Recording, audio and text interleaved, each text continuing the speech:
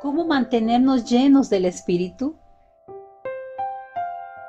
Cuando Paderewski ofreció por primera vez un concierto ante la reina de Inglaterra, ella le dijo entusiasmada, Señor Paderewski, usted es un genio. Él le contestó, Gracias, Majestad.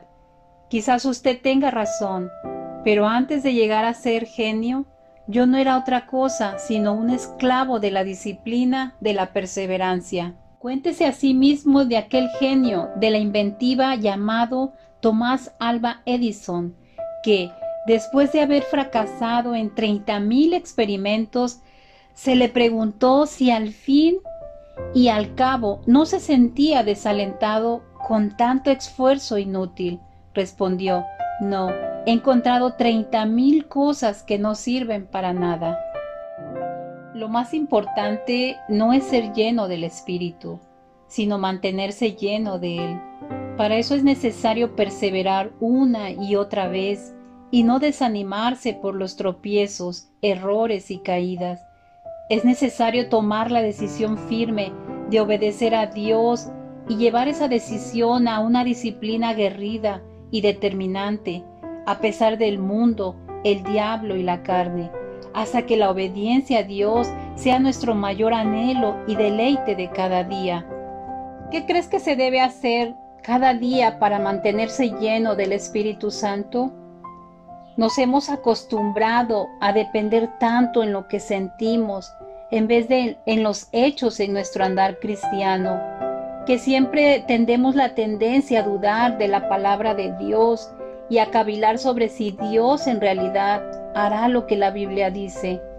Muchos han llegado a la conclusión de que vivían vidas sin poder y han pedido ser llenos del Espíritu Santo, pero unos días después pueden estar dudando sobre la validez de esta plenitud porque no han experimentado grandes reacciones emotivas o cambios drásticos. Pero es por fe que debemos vivir y es por fe que debemos actuar.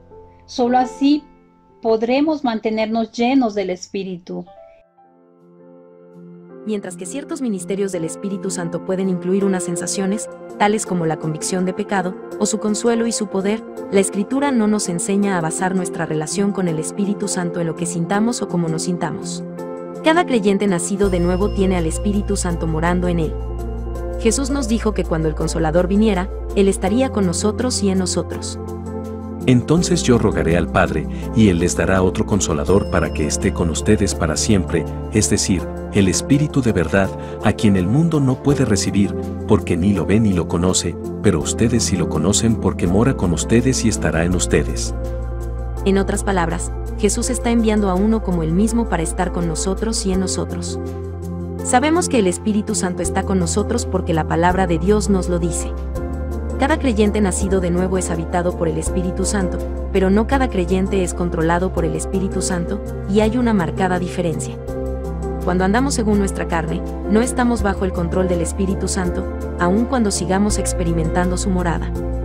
El apóstol Pablo nos habla sobre esta verdad, y él usa una ilustración que nos ayuda a entenderlo y no se embriaguen con vino, en lo cual hay disolución, sino sean llenos del Espíritu. Mucha gente lee este verso y lo interpreta creyendo que el apóstol Pablo está hablando contra el vino. Sin embargo, el contexto de este pasaje es sobre el caminar y el luchar del creyente que está lleno del Espíritu. Por lo tanto, hay algo más aquí que solo una advertencia acerca de tomar mucho vino. Cuando la gente está embriagada con mucho vino, exhibe ciertas características, se tambalea, su hablar se entorpece y su juicio se daña. El apóstol Pablo establece aquí una comparación. Así como hay ciertas características que nos permiten percibir que alguien está controlado por la embriaguez del vino, también debe haber ciertas características que nos permitan ver que alguien está siendo controlado por el Espíritu Santo. Leemos en Gálatas 5:22 al 24 acerca del fruto del Espíritu. Este es su fruto, y es mostrado por los creyentes nacidos de nuevo que caminan bajo el control del Espíritu. El tiempo del verbo en Efesios 5:18 indica un proceso continuo de ser lleno por el Espíritu Santo. Puesto que es una exhortación, se deduce que también es posible no estar llenos o controlados por el Espíritu. El resto del capítulo de Efesios 5 nos dice las características de un creyente lleno del Espíritu. Hablen entre ustedes con salmos, himnos y cantos espirituales, cantando y alabando con su corazón al Señor. Den siempre gracias por todo, en el nombre de nuestro Señor Jesucristo, a Dios, el Padre. Sométanse unos a otros en el temor de Cristo.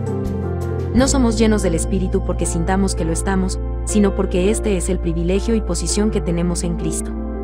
El ser llenos o controlados por el Espíritu es el resultado de caminar en obediencia con el Señor. Este es un don de gracia y no un sentir emocional. Las emociones pueden y son engañosas, y podemos fabricarnos un frenesí emocional que provenga puramente de nuestra carne y no del Espíritu Santo. Digo pues, anden por el Espíritu, y no cumplirán el deseo de la carne. Si vivimos por el Espíritu, andemos también por el Espíritu. Habiendo dicho esto, no podemos descartar que haya momentos en que podemos encontrarnos inundados por la presencia y el poder del Espíritu, y esto con frecuencia es una experiencia emocional. Cuando eso sucede, es un gozo como ningún otro. El rey David danzaba con toda su fuerza cuando ellos trajeron el arca del pacto a Jerusalén. Experimentar el gozo por el Espíritu es comprender que como hijos de Dios estamos siendo bendecidos por su gracia. Así que, definitivamente, los ministerios del Espíritu Santo pueden involucrar nuestros sentimientos y emociones. Al mismo tiempo, no debemos basar nuestra seguridad de tener el Espíritu Santo en la manera en que lo sintamos. En esta lección veremos seis consejos prácticos para mantenernos llenos del Espíritu.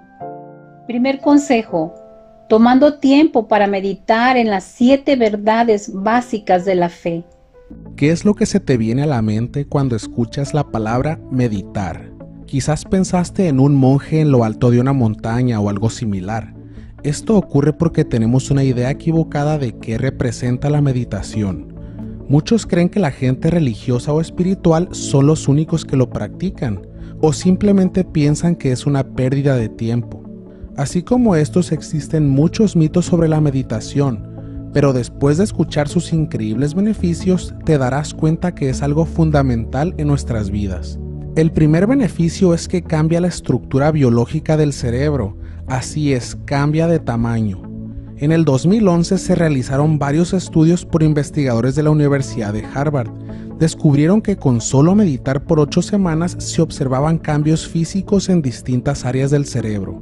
Una de ellas es el cingulado posterior, esta se encarga de controlar la divagación mental, lo cual significa que nuestra concentración mejora considerablemente. También se observó un aumento en el grosor del hipocampo izquierdo. Este es el responsable del aprendizaje y la memoria. Asimismo, se registró un crecimiento de materia gris en la unión temporoparietal. Esta se encarga de la compasión y la empatía. En pocas palabras, todos estos cambios al cerebro nos ayudan a distraernos menos, a estar más enfocados, a tener mayor facilidad para aprender, retener información y a mejorar nuestra perspectiva en interacciones sociales. Pero la meditación no solo hace crecer las partes buenas del cerebro, también reduce el volumen de la amígdala, la cual se asocia con miedo, ansiedad y estrés. Así que serás menos propenso a experimentar esas emociones negativas. El segundo beneficio es que ayuda a superar malos hábitos. Esto se debe a que la meditación estimula el crecimiento de la corteza dorsolateral prefrontal. Esta es responsable de la toma de decisiones y la fuerza de voluntad. En el 2014 hubo un estudio dirigido por la doctora Sarah Bowen, en donde tomaron a un grupo de alcohólicos y lo dividieron en dos partes. Uno de los grupos practicó la meditación por 8 semanas, mientras que el otro llevó a cabo el típico programa de 12 pasos. Los investigadores esperaron un año a ver qué resultados se obtenían en ese plazo. Se dieron cuenta que solo el 8% del primer grupo había recaído, a comparación del 20% del segundo. El tercer beneficio es que es extremadamente sano. Un estudio realizado en adultos mayores descubrió que la meditación disminuye la cantidad de proteína C reactiva en la sangre. Esta proteína está directamente relacionada con el desarrollo de enfermedades cardíacas. Además, en otro estudio se observó a un grupo de pacientes con hipertensión y descubrieron que con solo tres meses de meditación los pacientes fueron capaces de disminuir drásticamente su presión sanguínea. Y eso no es todo el estudio más impactante de todos fue el que se llevó a cabo en el 2010 por Elizabeth Blackburn, ganadora del Premio Nobel de Medicina. Elizabeth descubrió que la meditación tiene un efecto en el cuerpo a un nivel genético, ya que puede proteger la longitud de los telómeros. ¿Pero qué son los telómeros? En términos básicos son un indicador de envejecimiento. Entre más avanzada sea la edad, más cortos serán. Es un proceso inevitable. Lo que sí se puede conseguir es ralentizar este acortamiento continuo. El ejercicio y una buena alimentación son dos formas efectivas de lograrlo, pero una tercera y también muy efectiva es meditando. Después de conocer toda esta información, estoy seguro que la idea que tenías de la meditación cambió por completo. Como pudiste ver, no se trata de una práctica de hippies como muchos piensan, sino que es algo esencial para nuestra salud. Te quiero preguntar, ¿meditas en Dios o te estás perdiendo de los grandes beneficios que trae el hacerlo? ¿No sabes cómo hacerlo? Si esto es así, este mensaje te ayudará para que aprendas a descubrir el impacto que tendrá en tu vida meditar en Dios. A muchos les parecerá extraño que hablemos de meditación, pero meditar en Dios es el proceso de enfocarnos en pensamientos acerca de Dios, de su palabra y de su obra. Meditar en Dios no consiste en vaciar la mente, sino en llenarlas con pensamientos acerca del Creador ya que nuestras mentes se distraen con facilidad y a menudo olvidadizas, necesitamos apartar un tiempo especial para pensar en Dios y en lo que Él nos ha dicho. La meditación es un medio especial por el cual nos ponemos a disposición para ser instruidos por el Señor. Meditar en Dios nos traerá paz, tranquilidad, gozo, sabiduría y fortalecerá nuestra relación personal con Él. La meditación bíblica fue algo que Dios aconsejó y se convirtió en algo importante en muchos hombres que la practicaron. Josué 1.8 dice, Nunca se apartará de tu boca este libro de la ley, sino que de día y de noche meditarás en él para que guardes y hagas conforme a todo lo que en él está escrito, porque entonces harás prosperar tu camino y todo te saldrá bien. El Salmo 63, 6 dice, Cuando me acuerde de ti en mi lecho, cuando medite en ti en las vigilias de la noche. El Salmo 77, versículo 12 dice, Meditaré en todas tus obras y hablaré de tus hechos. El Salmo 19, versículo 14 dice, Sean gratos los dichos de mi boca y la meditación de mi corazón delante de ti, oh Jehová, roca mía y redentor mío. Y el Salmo 1, versículos 1 y 2 dice, Bienaventurado el varón que no anduvo en consejo de malos, ni estuvo en camino de pecadores, ni en silla de escarnecedores se ha sentado, sino que en la ley de Jehová está su delicia, y en su ley medita de día y de noche. Debemos tomar el tiempo para sintonizar nuestro corazón y nuestra mente con el Señor reflexionar sobre sus palabras y recibir la ayuda del Espíritu Santo para interpretar sus instrucciones para nuestra situación en particular. Tal vez te preguntes, ¿cómo puedo incorporar la meditación en Dios en mi vida? Primero, debes apartar un tiempo sin prisa. Segundo, necesitarás quietud. Tercero, necesitarás un poco de aislamiento. Cuarto, habla con Dios desde tu mente. Quinto, el silencio también es necesario. Y sexto y muy importante, usa la Biblia para meditar. Pensarás que es difícil meditar en Dios, pero todo lo que nos trae bendición requiere compromiso. Pide la ayuda al Espíritu Santo y toma la decisión de meditar hoy. Primera Cristo murió y resucitó por nosotros. Romanos 4:25. Él fue entregado a la muerte por causa de nuestros pecados y resucitado para hacernos justos a los ojos de Dios. Segunda, Dios derramó su amor en nosotros. Romanos 5:5.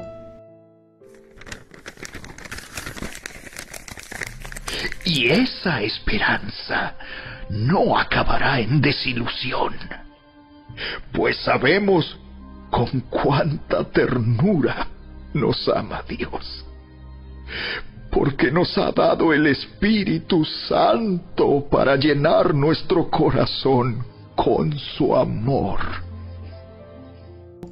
Tercera, Dios nos ama y nos los muestra. Romanos 5:8.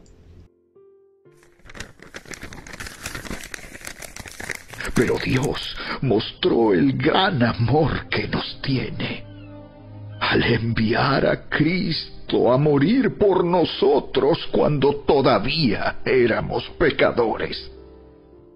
Cuarta, hemos muerto al pecado. Romanos 6:11a.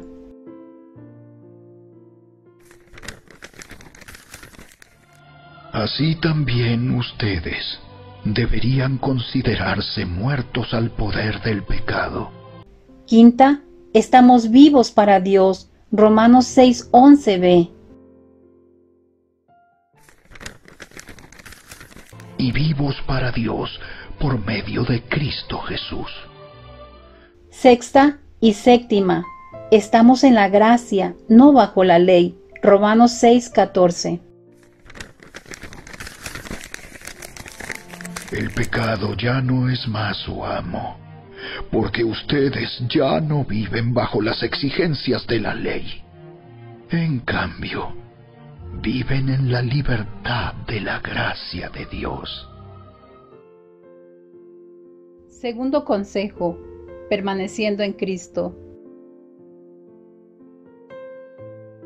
¿Cómo se permanece en Cristo? Jesús mandó en muchas ocasiones que debemos permanecer en Él y describió los beneficios que esto conlleva. En Juan 6, 56 aseguró, El que come mi carne y bebe mi sangre, en mí permanece y yo en él, poniendo de manifiesto la necesidad de celebrar la cena del Señor para permanecer en él al comer su cuerpo y beber su sangre, en memoria de su sacrificio y muerte en la cruz. En Juan 15:4 mandó, permanezcan en mí y yo en ustedes. Como el pámpano no puede llevar fruto por sí mismo si no permanece en la vid, así tampoco ustedes si no permanecen en mí. Y en Juan 15:5 aseguró, yo soy la vid, ustedes los pámpanos, el que permanece en mí y yo en él, éste lleva mucho fruto porque separados de mí nada pueden hacer. Aquí nos dice claramente que solamente podemos llevar fruto si permanecemos en Él. En Juan 15:6 advierte, el que en mí no permanece será echado fuera como pámpano y se secará, y los recogen y los echan en el fuego y arden, estableciendo el riesgo y el peligro de no permanecer en Él. En Juan 15:7 promete la respuesta a nuestras oraciones cuando dice, si permanecen en mí y mis palabras permanecen en ustedes, pidan todo lo que quieren y les será hecho. En Juan 15 del 8 al 10 define la manera en que debemos glorificar al Padre y tiene que ver directamente con permanecer en Él. En esto es glorificado mi Padre, en que lleven mucho fruto y sean así mis discípulos. Como el Padre me ha amado, así también yo los he amado, permanezcan en mi amor. Si guardaren mis mandamientos, permanecerán en mi amor, así como yo he guardado los mandamientos de mi Padre y permanezco en su amor. Podemos ver claramente que hay dos factores que determinan si permanecemos en Jesús o no. El perdón de pecados y el amor. Cada vez que pecamos, ya sean pecados de omisión, saber lo bueno y no hacerlo, o de comisión, hacer lo malo, no perdemos nuestra salvación, pero sí perdemos nuestra comunión con Dios. El pecado rompe, interrumpe nuestra comunión con Dios. El Espíritu Santo vive en nosotros, pero al pecar se cierran nuestros oídos para no oír y nuestros ojos para no ver. Y lo único que podremos oír es la convicción de pecado del Espíritu Santo en nosotros, incomodándonos, impulsándonos y moviéndonos a limpiarnos de ese pecado con la sangre de Cristo mediante la confesión a Dios de nuestro pecado. De ahí la importancia de la confesión de pecados, pues Dios es fiel y justo, como dice el Espíritu Santo, para perdonar nuestros pecados y limpiarnos de toda maldad y de restaurar nuestra comunión con Él. De ahí la relevancia de celebrar la cena del Señor, porque al hacerlo tenemos que ponernos a cuentas con Dios y limpiarnos. El segundo factor es el amor. No tenemos excusa para no amar, porque el amor de Dios ha sido ya derramado en nuestros corazones por el Espíritu Santo que nos fue dado. El amor no es un sentimiento, es una decisión de nuestra voluntad. Debemos decidir amar. Jesucristo nos manda que nos amemos unos a otros. Si no nos amamos unos a otros, también estamos rompiendo nuestra comunión con Dios y dejando de permanecer en Jesús. En ambos casos debemos confesar nuestros pecados. En el primer caso, debemos decidir firmemente no reincidir y no volver a pecar. En el segundo caso, debemos decidir demostrar el amor a quien no lo hemos hecho de manera práctica y visible. Se permanece en Cristo no teniendo ningún pecado sin confesar y amando a Dios y al prójimo. Primero, confesando nuestros pecados. Primera de Juan 1.9. Pero si confesamos nuestros pecados a Dios, Él es fiel y justo para perdonarnos nuestros pecados y limpiarnos de toda maldad. Segundo, amando a Dios y al prójimo. Primera de Juan 3:23, 4:17 al 21. Y su mandamiento es el siguiente. Debemos creer en el nombre de su Hijo, Jesucristo, y amarnos unos a otros, así como Él nos lo ordenó. Y al vivir en Dios, nuestro amor crece hasta hacerse perfecto. Por lo tanto, no tendremos temor en el día del juicio, sino que podremos estar ante Dios con confianza, porque vivimos como vivió Jesús en este mundo. En esta clase de amor no hay temor, porque el amor perfecto expulsa todo temor. Si tenemos miedo es por temor al castigo, y esto muestra que no hemos experimentado plenamente el perfecto amor de Dios. Nos amamos unos a otros porque Él nos amó primero. Si alguien dice, amo a Dios, pero odia a otro creyente, esa persona es mentirosa, pues si no amamos a quienes podemos ver, ¿cómo vamos a amar a Dios a quien no podemos ver? Y Él nos ha dado el siguiente mandato. Los que aman a Dios deben amar también a sus hermanos creyentes.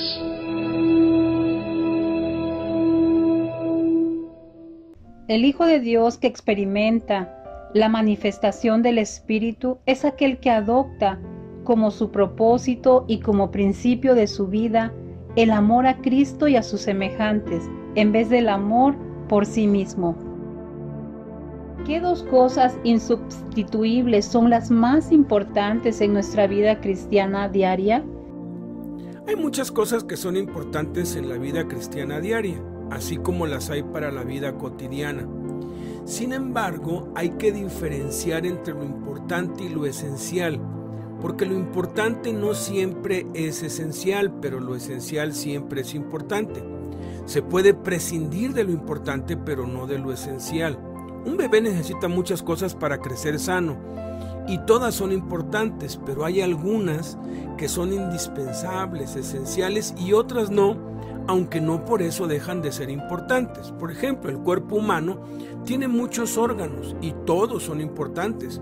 Los ojos, la nariz, las orejas, la boca, la lengua, los brazos, las piernas, el cerebro, el hígado, el corazón, los riñones, los pulmones, los intestinos, etcétera, etcétera. Todos los miembros de nuestro cuerpo son absolutamente importantes y no pensaríamos ni quisiéramos nunca prescindir de ninguno de ellos. Sin embargo, hay órganos esenciales sin los cuales la vida no puede continuar, como lo son el corazón, el cerebro, el hígado y al menos un pulmón y un riñón. Podemos vivir sin ojos, o sin brazos, o sin piernas, o sin algunos órganos internos, pero no sin los órganos esenciales. Entonces debemos poner suprema atención en cuidar y mantener los órganos esenciales para mantenernos con vida. Pero eso no significa que por eso no vamos a cuidar y mantener lo demás. En la vida cristiana, los dos órganos esenciales insustituibles son, sin lugar a duda, la oración y la palabra de Dios, pero no son las únicas cosas que debemos hacer. Algunos piensan que es lo único que necesitamos hacer para crecer espiritualmente y mantenernos llenos del Espíritu Santo y llegan a creer que si hacen eso y perseveran, ya no tienen que hacer nada más. Pero eso sería equivalente a conformarnos con estar vivos sin importar si no tenemos brazos ni piernas o un solo pulmón o estar ciegos o sordos o mudos, pero nadie decidiría eso para su vida. Del mismo modo, aunque es ciertísimo que las dos cosas esenciales, vitales, insustituibles en la vida cristiana son la oración y la palabra de Dios, el ejercicio de estas dos disciplinas espirituales nos debe llevar a practicar y ejercitar los cinco propósitos de Dios para nuestras vidas de manera equilibrada y balanceada, porque la salud viene del balance. Los propósitos de Dios para cada uno de nosotros son adoración, compañerismo, discipulado, evangelismo y ministerio. Y nuestro tiempo diario con Dios debe ir enfocado a poner en práctica la palabra de Dios, a llevarla a cabo, a ejercitarla. ¿Cómo? Demostrándole a Dios que lo amamos adorándole en espíritu y en verdad, congregándonos regularmente y teniendo compañerismo con otros cristianos, siendo discipulados como mandó Jesús, aprendiendo a guardar todas las cosas que Él mandó guardar, testificando de nuestra fe a todos los que nos rodean, evangelizando a todos en nuestro entorno, sirviendo a los hermanos en la iglesia y a los necesitados en el mundo. Todo se puede resumir en aprender a servir a Dios, aprender a servirnos unos a otros y aprender a servir al mundo. Sin lugar a dudas son orar y leer. De la práctica disciplinada de estas dos cosas emana todo lo demás. Tercer consejo, orando cada día. Primera de Timoteo 2, 1, 2 y Efesios 6, 18, 19.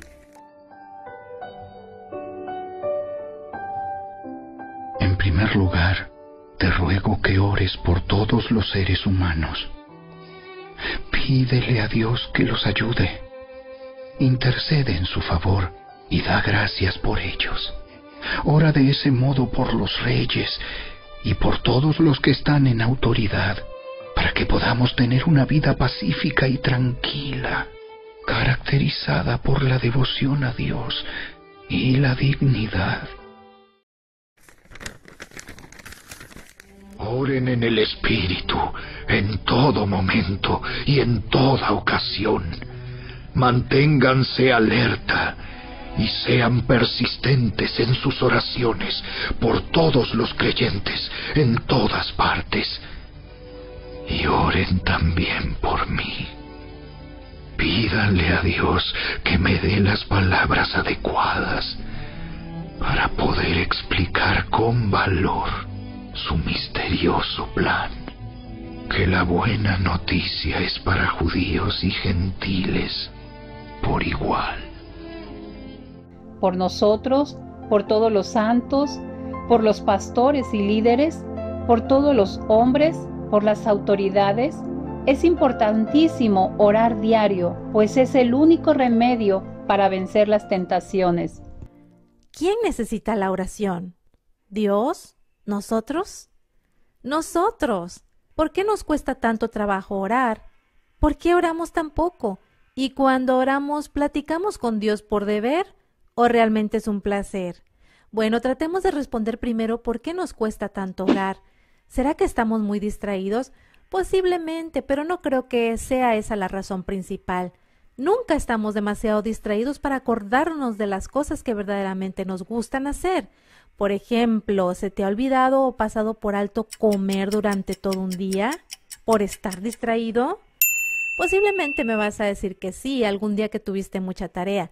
Pero a ver, ¿se te ha olvidado comer durante todo un día en donde ese día llevaron a tu casa una pizza extra queso?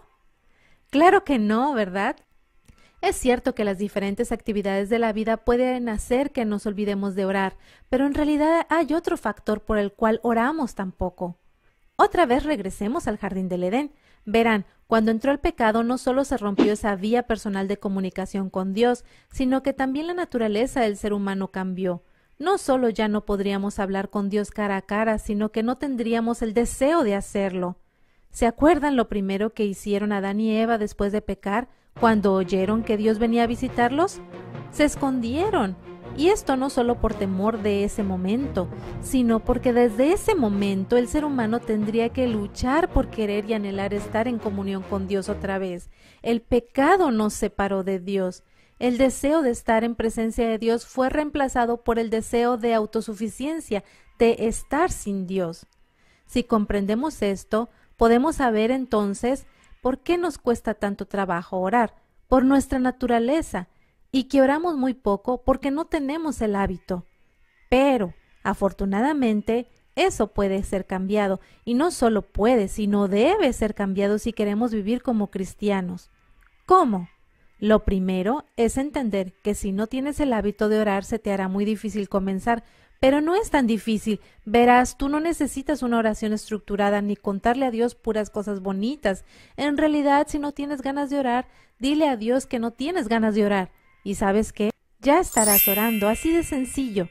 Entre más ores, más fácil se hará hacerlo, más y más, hasta formar un hábito de oración. Vayamos a la última pregunta. Cuando oramos con Dios, ¿lo vemos como un deber o es un placer?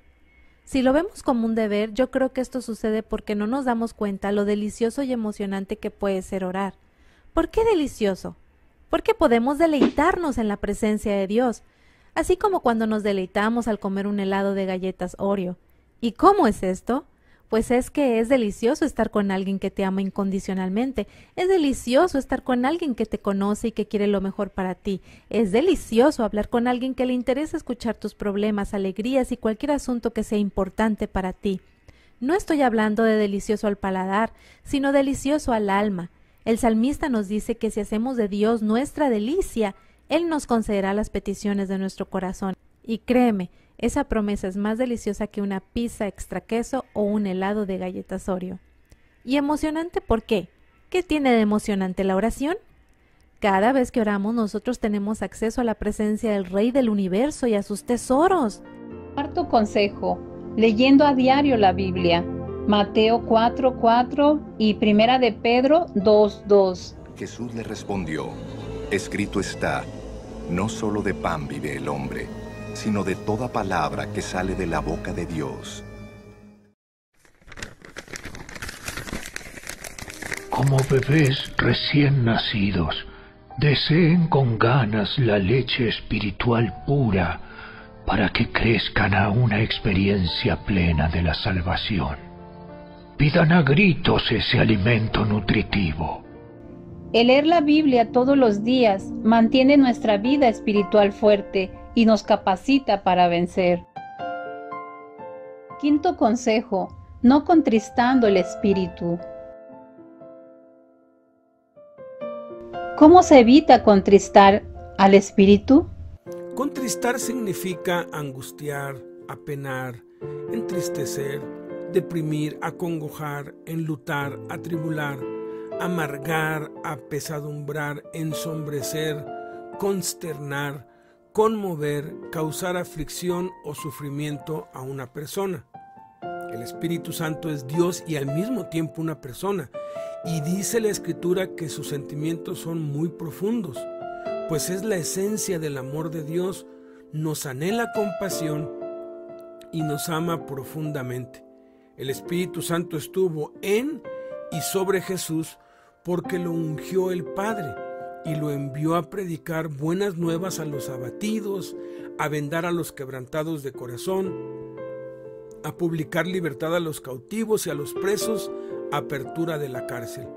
El Espíritu Santo nos hace nacer de nuevo, nos pastorea, nos afirma, nos levanta, nos habla, nos eleva, nos da vida, nos llena, nos impulsa, nos mueve, habla por medio de nosotros, nos lleva al desierto para ser tentados, nos da gozo, nos enseña, nos guía a toda la verdad, nos hace saber el futuro. En pocas palabras, está relacionado con nosotros en todo lo que hacemos terrenal y espiritualmente.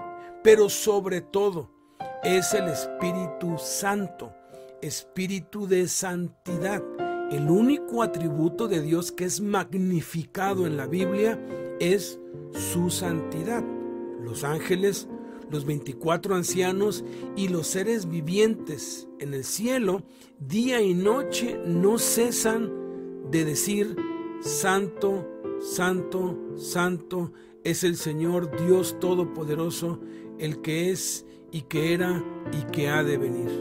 Entonces, hay dos cosas que entristecen, apenan, acongojan, enlutan, atribulan y apesadumbran, por así decirlo, al Espíritu Santo. En una sola palabra lo contristan. El pecado y darle lugar a la carne. La escritura dice claramente que si pecaremos voluntariamente después de haber recibido el conocimiento de la verdad, ya no queda más sacrificio por los pecados sino una horrenda expectación de juicio y de hervor de fuego que ha de devorar a los adversarios. El que viola la ley de Moisés por el testimonio de dos o tres testigos muere irremisiblemente. ¿Cuánto mayor castigo piensan que merecerá el que pisoteare al Hijo de Dios y tuviere por inmunda la sangre del pacto en la cual fue santificado e hiciere afrenta al Espíritu de gracia, hiciere afrenta al Espíritu de gracia. Afrenta significa hecho o insulto que ofende gravemente a una persona por atentar contra su dignidad, su honor, su credibilidad, etc. Cuando pecamos con premeditación, alevosía y ventaja, por así decirlo, afrentamos al Espíritu Santo. Dicho en otras palabras, contristamos al Espíritu Santo. Dios, el Espíritu Santo, no se enoja cuando pecamos, se entristece, se acongoja, se apena, le duele en su corazón.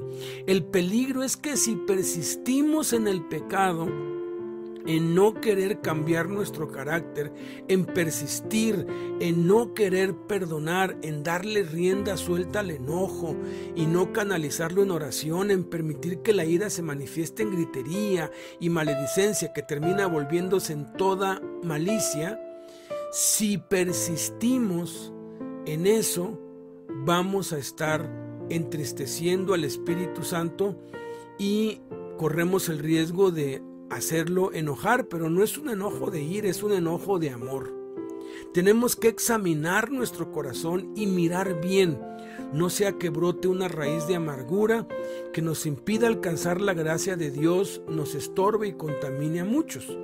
Eso es lo que contrista al Espíritu Santo.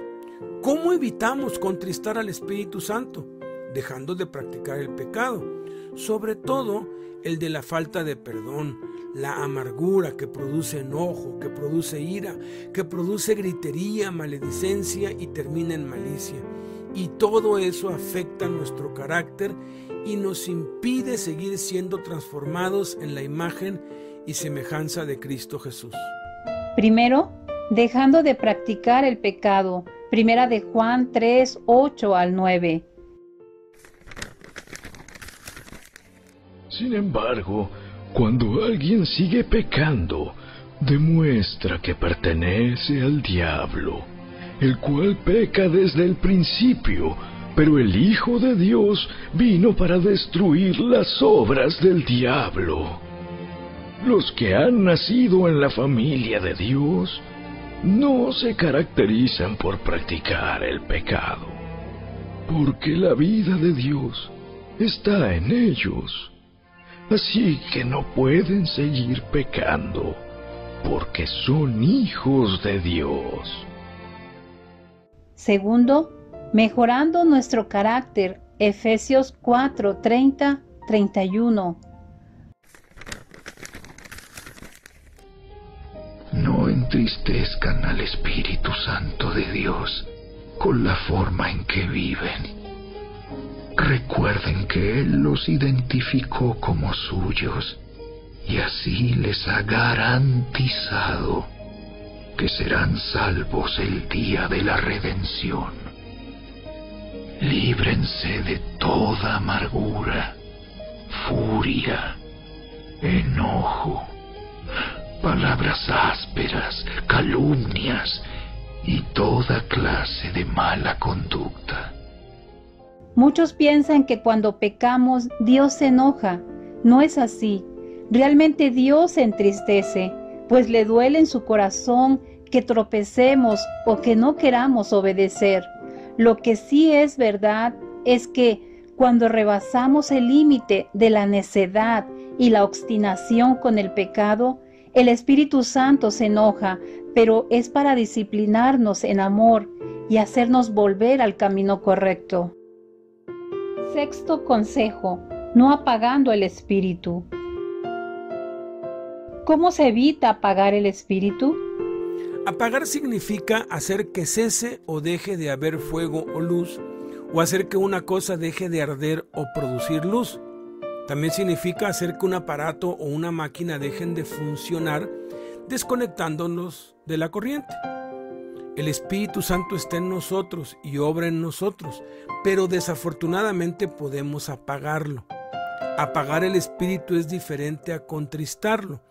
Podemos contristar al Espíritu sin apagarlo, pero no podemos apagar el Espíritu sin contristarlo. Al apagar el espíritu no solamente lo silenciamos, no solamente impedimos que haciendo repetir, repetir.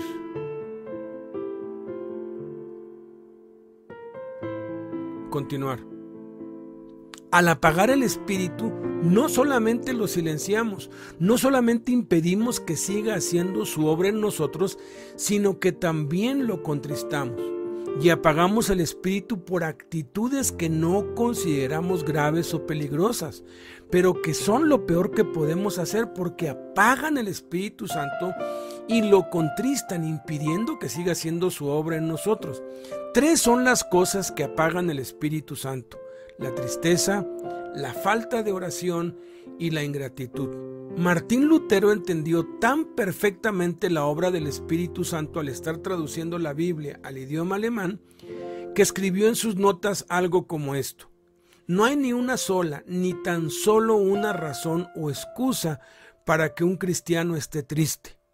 Hemos recibido la salvación, el perdón de nuestros pecados, el Espíritu Santo, la gloria, la presencia de Dios, la vida eterna, nuestra herencia y esperanza eternas, el amor de Dios ha sido derramado en nuestros corazones, además de dones espirituales y que hemos sido creados en Cristo Jesús para buenas obras, las cuales Dios preparó de antemano para que anduviésemos en ellas. Somos hijos de Dios, nuevas criaturas, linaje escogido, sacerdocio, pueblo adquirido por Dios, más que vencedores por medio de Jesucristo que nos amó. No hay razón para estar tristes. La segunda causa por la que apagamos el espíritu es por la falta de oración, por ser negligentes al respecto y las razones son más que obvias y evidentes. La tercera causa es la ingratitud, quejarnos de algo o de todo. El lenguaje del cielo es la alabanza. El lenguaje del infierno es la quejabanza. Si de verdad creemos que a los que amamos a Dios todas las cosas les ayudan a bien, esto es, a los que conforme a su propósito hemos sido llamados, entonces vamos a dar gracias en todo y por todo, tal como nos lo manda el Espíritu Santo. Debemos escucharnos a nosotros mismos y examinar si de nuestra boca salen quejas, críticas, murmuraciones, reproches y o palabras corrompidas o deshonestas. Entonces, si es así, debemos con urgencia arrepentirnos y volvernos a Dios porque nuestro corazón ha sido ya contaminado y hemos apagado el Espíritu Santo en nosotros, pues de la abundancia del corazón habla la boca y lo que sale por la boca es lo que nos contamina. El Espíritu Santo es muy claro al decir que la voluntad de Dios es que demos gracias en todo y por todo. Al no hacerlo, no solo estamos pecando, sino que estamos dejando de hacer la voluntad de Dios. Apagamos el Espíritu Santo y volvemos otra vez a la carne, a vivir en nuestras propias fuerzas y sabiduría, lo que nos llevará inevitablemente a la ruina, la vergüenza, la confusión y a caer de la gracia de Dios, lo cual lamentaremos mucho y nos costará mucho trabajo reponernos de eso. Pero todo eso se puede evitar si detectamos a tiempo si hemos apagado el espíritu en nosotros y lo volvemos a encender. ¿Cómo encendemos el espíritu en nosotros? Revirtiendo los tres efectos que lo apagan, esto es, alegrándonos, orando y agradeciendo. Pero, ¿cómo puedo hacer eso si no tengo ganas? Si lo que siento es tristeza, soledad y molestias, debe hacerse por fe. Nuestras vidas a veces son como un auto que se le descargó la batería y no enciende. Lo que tenemos que hacer es un esfuerzo para empujar el auto, para lo que vamos a necesitar la ayuda de otros, lo más seguro, y entonces forzar el encendido con el motor, lo que hará que la batería empiece a cargarse y el auto funcione de nuevo de manera normal. Debemos declarar en voz alta las bendiciones de Dios que tenemos, lo que hemos recibido, y alegrarnos, gozarnos en Dios y desechar la tristeza. Debemos obligarnos a orar y orar aunque no tengamos ganas y forzarnos a hacerlo. Debemos dar gracias en todo y por todo, aunque sintamos lo contrario. A medida que actuamos en fe, aunque no queramos ni lo sintamos, el Espíritu Santo volverá a tomar el control y posesión de nuestra vida y volveremos a andar en el Espíritu y el gozo, la oración y la gratitud se harán manifiestas. Esto puede tomar días o semanas y tal vez se necesite el apoyo de otros hermanos en Cristo, pero vale la pena hacerlo. Y lo más importante, no dejar que el espíritu se apague, estar examinándonos constantemente para evitarlo. Primero, estando siempre gozosos. Primera de Tesalonicenses 5:16.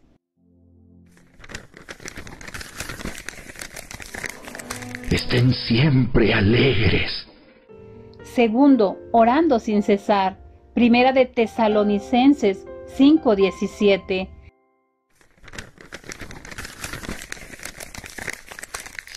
Nunca dejen de orar. Tercero, dando gracias en todo. Primera de Tesalonicenses 5:18. Sean agradecidos en toda circunstancia, pues esta es la voluntad de Dios para ustedes, los que pertenecen a Cristo Jesús.